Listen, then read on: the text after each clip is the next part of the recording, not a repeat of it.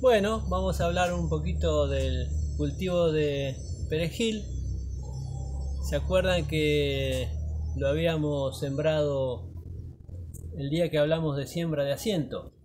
¿Eh? Lo sembramos directamente eh, en el cantero. Pero bueno, también podemos hacerlo en almácigos o podemos hacerlo en una jardinera, en una maceta. En este caso yo lo voy a hacer en un almácigo de bandejita. Acá tengo sustrato que le voy a poner y les cuento que el sustrato tiene un poco de arena, compost, humus de lombriz y un poquito de la turba criolla que le llamo yo. La turba criolla es, es la bosta de caballo seca, ¿eh? Que le da como un flow al sustrato. Eso lo hace, digamos, la turba venida de, de las turberas y también sirve para eso la turba criolla, ¿eh? la bosta de caballo seca. Eh, hace que el sustrato quede bien suavecito, liviano. Bueno, acá entonces estoy rellenando la, la bandejita eh, con el sustrato para sembrar el perejil, en este caso en las bandejitas. Después lo voy a trasplantar a algún lado, al cantero o algunas macetas más grandes, alguna jardinera.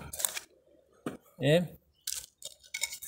Bueno, paso la maderita para retirar lo que sobra de sustrato y le dábamos un pequeño golpe como para que se haga lugar para las semillas. Bueno, acá tengo las semillas que cosechamos acá en la huerta. ¿Eh? Estas son las semillas. Bien. Le vamos a poner entonces a la mitad algunas semillas, tres o cuatro Uy, ahí se me fueron muchas, pero no importa. Las sacamos algunas.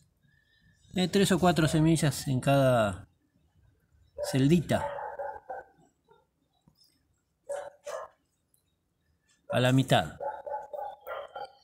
Porque en la otra mitad voy a usar unas semillas que me que me envió mi amigo Mike desde Alemania. Son estas. ¿eh? Son unas eh, semillitas que les muestro. Miren cómo vienen.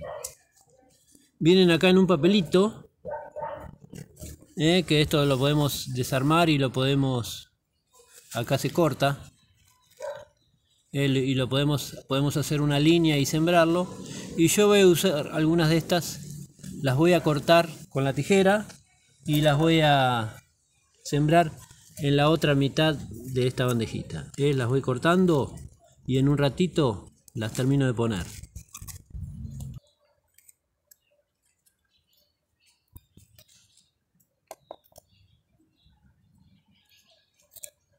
Bueno, ahí estamos. Ahora entonces con un poquito de, humus de lombriz lo vamos a tapar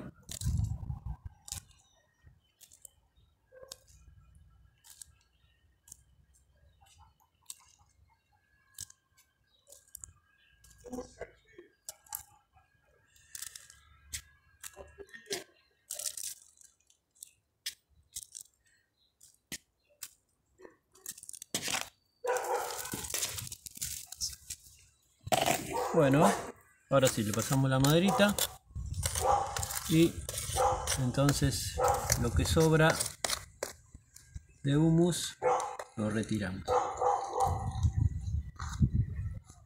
No lo quiero faltar mucho para no mover los papelitos. Ahora sí. Bueno, ahora un poquito de agua y esto quedaría listo.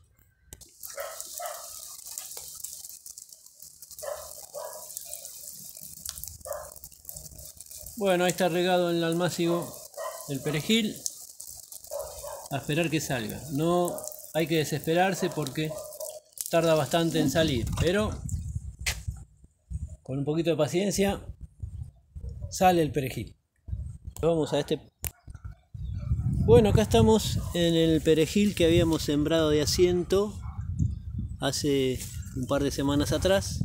Y bueno, ya ahí salió. ¿eh? Así que tardó un poquito, es de tardar el perejil, pero ahí ya está todo afuera. Así que bueno, esperando que siga creciendo. Ahora nos vamos a ver el, el otro perejil que tenemos de antes.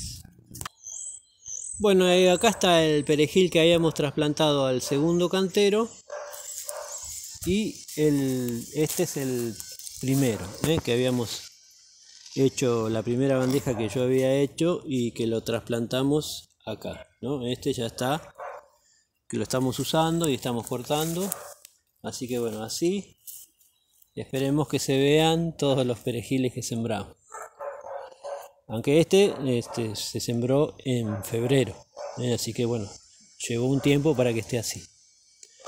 Normalmente lo atacan muy pocas enfermedades y muy pocas plagas, así que está bueno, está bueno tener siempre un poquito de perejil fresco en la huerta.